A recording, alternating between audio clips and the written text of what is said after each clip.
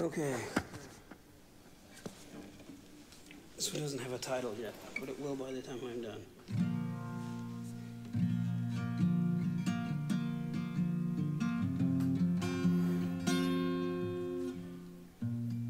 I think it's optimism.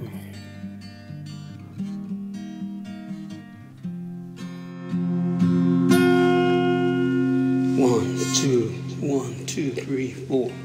So many fallen angels, mm, uneducated scribes. We've built the walls all so high, we can't learn from other tribes. Mm, When, when is the last time that we've really tried to build up some things together?